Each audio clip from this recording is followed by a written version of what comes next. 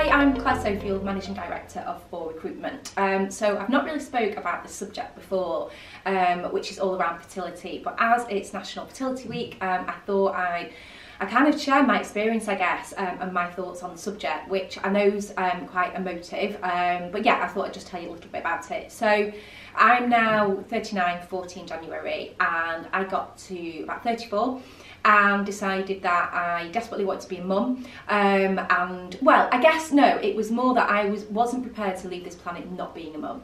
Um, when I set this business up, I was 25, and in my head, I had a kind of timeline that I'd spend, you know, 10 years growing the business, seeing how far I could take it, and then think about having kids. So I kind of stuck to those timelines, only not in the most conventional way. So some people who will see my posts know that whilst I am a mum, um, I went down a little bit of a different journey. I hate the word journey, but it's true. Um, so I had my daughter um, as a solo mum. Um, so Ruby is now three and she's IVF donor conceived. So um, whilst a lot more women do it these days than used to, it's still you know relatively new. So the background to it, like I say, is I got to like 34 and I thought, right, kind of nearing that time frame when I, I, wanted to start to think about having kids. Yet at that point, there wasn't a significant other. Um, I'd made some pretty bad decisions when it came to my love life, and I just didn't want that time pressure of having to meet someone in a certain time frame. Um, I knew that I may have some challenges in terms of fertility from pre-existing medical conditions. So I went to a gynecologist, um, kind of got checked out, and unfortunately, it was just way worse than I could have anticipated anticipated. Um, so I was almost there with making the decision to do it on my own. And then when I got those tests back, I, I, I, almost felt, I say this, I don't mean this in a bad way, but I almost felt like I didn't have a choice because I just want, wanted to be a mum um, and my body clock was ticking. Um, so I remember speaking to my brother, who's my business partner, and saying, yeah, I think I'll give it six months and just wait for the business to get to a certain point. And Philip was like, no, you'll be waiting forever for the business to get to a certain point. If that's what you want to do and you've got your heart set on it, you've got my whole support and, you know, absolutely go for it. Um, and that's what happened effectively. Um, so I guess I wanted to tell my story. There's loads more to it, obviously, but I wanted to tell my story because it's, I guess it's quite different. Um, looking back and reflecting, I wanted to talk about the fertility education side, which is one of the themes um, of this week. And the reality is, even though it wasn't that long ago when I was in my 20s, like, it just wasn't talked about. It, like, fertility just wasn't talked about. Um, you know, the option to freeze your eggs, well, I didn't even know it was an option. Um, whereas now, if, if as a woman that's something that you think you might want to do, as in become a mum, then why would you not? Because the reality is, and I'm no like medical professional, but the reality is, as every year goes by, especially when you start to get kind of mid 30s, things decline massively your egg count, your egg quality. Um, so why would you not put yourself in the best possible position? I know, I, I don't know the in, ins and outs, I know there is a cost attached to that and I absolutely get not everybody will be in that position, but it's not just about freezing your eggs, it's just about understanding what your fertility is um, because until you start trying for a baby, the reality is you've no idea. So it's something similar to like I did, you kind of say, right, I'll, I'll do it in 10 years time. And then when that time reaches and I literally had the fertility of someone in the 40s at the age of 34. That's quite a blow to find that out. Um, would I have had a baby any earlier? No. Would I have frozen my eggs if I'd have known it was an option? Definitely. Um, and interestingly, I've had two conversations with my team recently. Um, I think they hope they, I hope they feel they can talk about their fertility openly because um, I speak about my story. The team will know about it, and I've said to both of them who are in their early 30s, like, why would you not? And both of them were a bit like, shit, yeah, I don't, I don't, I don't know why I've not considered this already. So hopefully, by speaking to people about it, and certainly my team, we employ 75% women. Um, I want them to feel like they can talk to me as a manager. And I think having gone through quite, I guess, quite an interesting story myself, hopefully they'll feel they can do. Um, and some people might just be okay with leaving it to fate, and that is okay too. And some don't want kids and that is equally okay but I suppose it's just about educating and knowing what your choices are.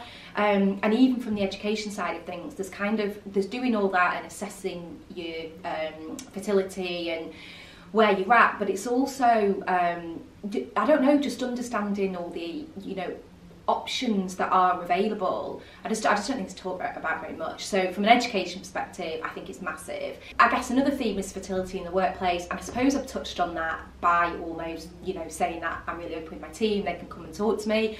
Could I be more open? I probably could, because, you know, I don't want to talk about my story every day to people because um, that's not necessarily what people come to work for. But certainly when I've had an opportunity to speak to people one on one, and we've talked about, you know, the kind of their life plan, and it's come up, um, and they've asked me the question, then, then, then I've, I, hopefully I've, I've helped them. Is it maybe something that employing so many women I should talk about more openly and maybe do like drop-in sessions for you know the, the, the girls that want to talk about it yeah it probably is actually and there's no reason why I don't do that other than time and um, probably just not massively thought about it um, but I guess that's the point of these weeks isn't it? it is to kind of shine a light on things that we should be discussing more in the workplace. Um, literally just before doing this video, um, one of my team sent me a link to an article and I think it was around Co-op being the first employer to grant um, leave for fertility treatment. And actually, let's just talk about that because there's the whole fertility in the workplace and you know, being able to have conversations and not dreading telling your manager that you're pregnant because of the impact it would have on work. Like, I just think that's such a backward mentality, but I know it's probably how a lot of women still feel. Um, but then you've got the whole if, if you are, and you as a woman, you have to go you know undergo fertility treatment whilst at work that's really difficult like i was fortunate that you know i had eight no's before i got a yes with ruby over the course of about 15 months and it was really taxing the medication early morning scans, bloods, like it would have massively interfered with work. Uh, well, it did massively interfere, but if I was employed by somebody, um, the sneaking about would have just been impossible. But it's hard because it's a private subject, so and some people aren't as you know inclined to share as much as I will do. So I suppose it's got to be driven by the individual, but certainly having an environment where people can talk about it. And I guess as a leader, and that's what I always try to do. Um, if I'm kind of open and honest and vulnerable about my experience, then hopefully that means that others can be too. Um, and then I guess we've got fertility fairness, which is um, no doubt an interesting subject. So my story on this is, is quite different. Um, I, I know that there it, it can differ from region to region, can't it, in terms of funding for fertility. Um, for me, I didn't have that even decision to make, I, guess, in terms of what PCT I was under, because as a single woman going through fertility treatment, you're not eligible for funding.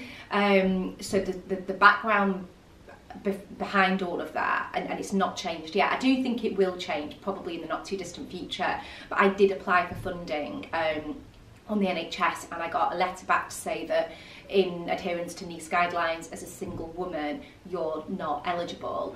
Um, I then appealed, um, which won't surprise a lot of people. I then appealed and they came back and said that um, it was it was crazy actually. So they basically said if I could demonstrate kind of medical conditions.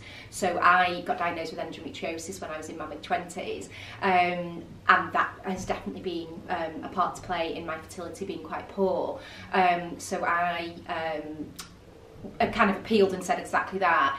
They then came back, which was really interesting, and said that they wouldn't fund a round of IVF, but they would fund another six rounds of IUI. So IUI is only what you would have done if you were doing it as a single woman, and that is a less intrusive form of IVF. Um, which is and, and, and it costs a lot less which is why they were obviously suggesting to go through that but having already gone through six rounds of IUI there's just no way you'd put your body through that because the percentage chance of success is so much lower than IVF um, and I would have liked to fight back to have fought back but if I'm honest I was so far kind of through the IVF process and it was so taxing both mentally and physically that I ultimately I just wanted a baby. Like it wasn't that I couldn't afford it. It was the fact that I felt as a single woman I should still be eligible to it. Um, very up until very recently same-sex couples haven't been eligible for fertility funding. However there's been a law that's been passed literally in the last kind of two three months which now means that same-sex couples um, can access funding, which is really good.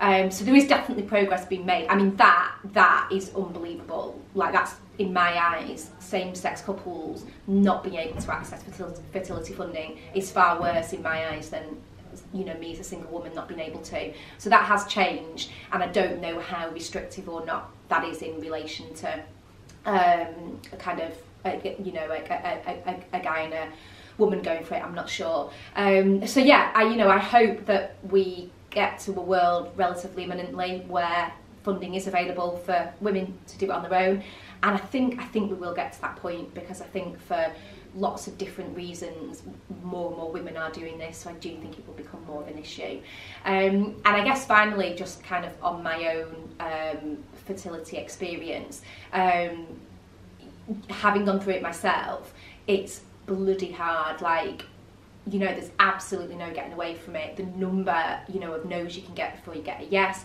How emotional. And it's only when I kind of look back after having Ruby that I was like wow for the last three years of my life um, like it's been like on the knife edge all the time in terms of not knowing if it was going to work, waiting for two weeks, am I pregnant, am I not, the constant feeling shit when it was a no. So I guess as an employer, like if, if you've gone through it yourself as a manager or a leader, then you just know.